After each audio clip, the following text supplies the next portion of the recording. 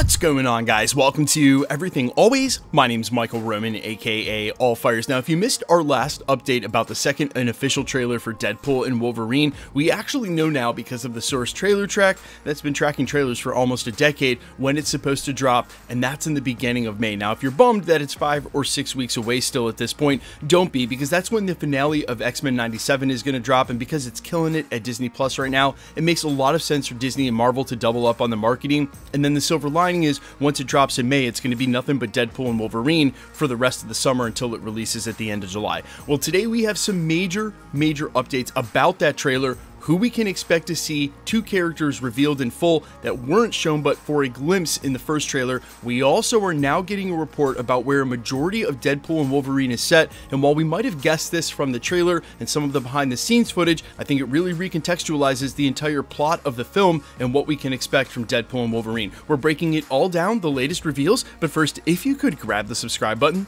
We do daily Marvel content at the channel, and that's all we do. Everything from official Easter egg breakdowns, trailers, and reviews to the occasional occasional industry insider report and everything in between. So if that sort of thing's for you, hit the subscribe button, leave a comment down below. That will automatically enter you to win our ongoing PS5 giveaway. The next one is right around the corner to coincide with the finale of X-Men 97. If you want to be entered to win, again, all you got to do be a sub, leave a comment. If you want, stick around at the end of the video. We get into all the giveaway stuff again there. Okay, so before we jump into the industry insider report, which we will issue the lightest of spoiler warning for, we're going to start with the rumor mill stuff. Now, during the very first trailer, we only got a quick glimpse at both Wolverine in the yellow and blue costume and Cassandra Nova, the film's antagonist. And when you think about it, there was actually some similarities behind the reveal. They're literally just on camera from the shoulders up for a second and then it fades out. Well, it's being reported again in the rumor mill now that we're going to get a full look at both of those characters. Wolverine in the yellow and blue costume will feature during the trailer, as well as a full look at the antagonist Cassandra Nova, played by Emma Corrin.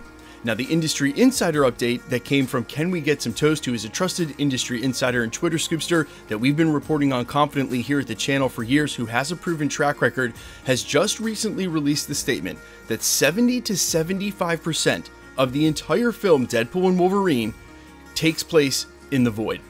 Now this is where I will issue the lightest of spoiler warning as I'm going to continue to do now in videos going forward when I use behind the scenes footage. So if you want to back out now and not see any of this, go into the unknown not knowing, now's your last chance. But a majority of the footage that we watched from behind the scenes stuff that leaked out shows them outside and sort of traversing what looks like it could be extensions of the void. Deadpool and Wolverine walking through the field, of course, Deadpool, Dogpool, a separate variant of Deadpool and Wolverine talking on the hill with the blue sky, and all of the scenes that leaked out of them fighting in the void against old Fox X Men characters and against each other. Now, I will also point out that the quick shot that we get of both Wolverine in the yellow and blue costume and of Cassandra Nova also both look like that they're inside the void. So it may be that ultimately Deadpool ends up there and then just ends up fighting and recruiting whomever he comes across. But I think it's a lot more likely that that is his actual intended destination, as that's probably where Cassandra Nova has taken up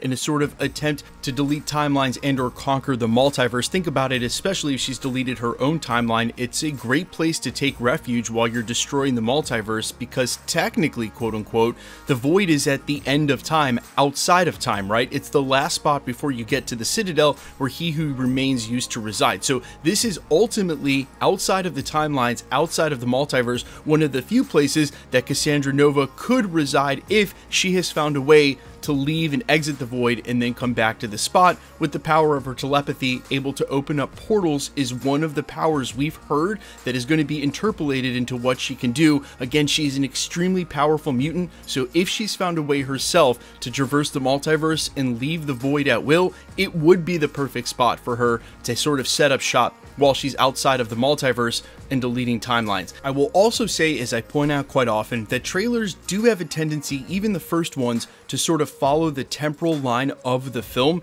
meaning that what we saw in the Deadpool trailer and usually is sort of lined up with the acts of the film, right? The stuff with him in the birthday party, that's obviously Act 1, the stuff with the TVA, that might be the end of Act 1 and Act 2, and then towards the end of the trailer, we see it taking place in the void where Wolverine and Deadpool are fighting each other. So if that lines up with the film, and if that's where Cassandra Nova, the main antagonist of the film, is, you could anticipate a majority being there and then into the third act.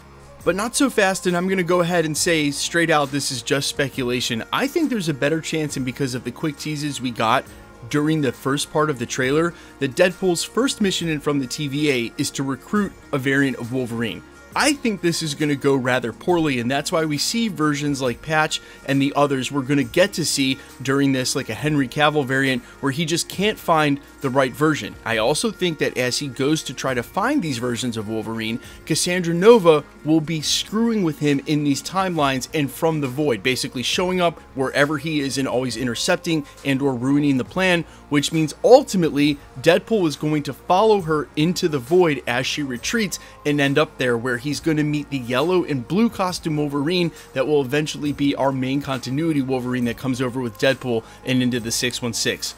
Speaking of which, I would be remiss in not mentioning my sentiment and since the beginning, one of the most exciting prospects of this film is seeing Deadpool and Wolverine finally interact with the 616 characters and our Avengers. And while it certainly looks a lot more likely now that that's something they'll save for the end of the film, if 70 or 75% of the void is where the film is taking place. I think there's very little time for our main continuity 616 or main Avengers to show up. Not that they might not in some of these other scenes, but I just think there's very little time for that to be a main component of the film.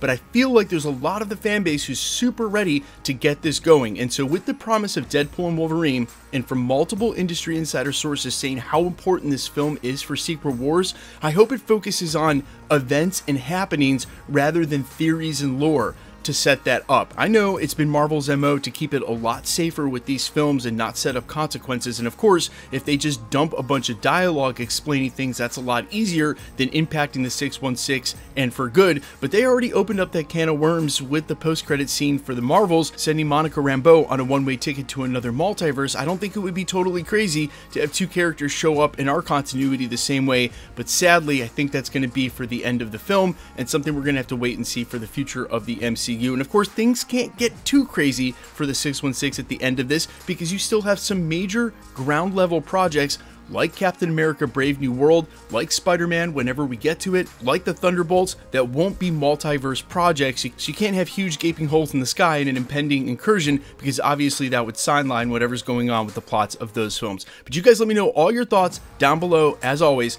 How hype are you for the second trailer? What do you most want to see from the second trailer? Which characters do you want to see revealed? And what do you think about this scoop that a majority of the film is taking place in the void? I'm all ears as always. Quickly, let's get into the giveaway stuff before I let you go. Okay, we're still giving away PlayStation 5s at the channel, and we're just going to continue to do so until the PlayStation 5 Pro comes out. Then we'll start giving those away. In the meantime, if you want to be entered to win or for any of the future giveaways here at the channel, all the same rules will always apply. Hit the subscribe button because you need to be a subscriber, then leave a comment down below, because it's truly random, the more videos you comment on, the better chance you have of winning. All winners will always be announced during the end of videos in the same segment we're doing here, live with my voice in the comments shown on screen. The best way to keep up with the content has always been to hit the notification bell with all notifications turned on, especially these days with YouTube and them unsubbing people from channels. And of course, if you like today's video, I'd really appreciate it if you'd hit the like button. Quick reminder, guys, to anybody, stay safe and vigilant on YouTube or really any social media platform. If you should get a comment, in the comments claiming that you've won a prize, please try to remember that anybody can take a content creator's photo, make a new account, claim to be that content creator, and it is all just a scam to try to get you to pay for shipping for a prize that doesn't exist. If you should get a comment like that, simply report that comment to the respective platform. Never ever share your information on a third party app like WhatsApp or Telegram, and please try to remember again no content creator is ever going to charge you for shipping. They're not going to hit you up in the comments. That is just spam.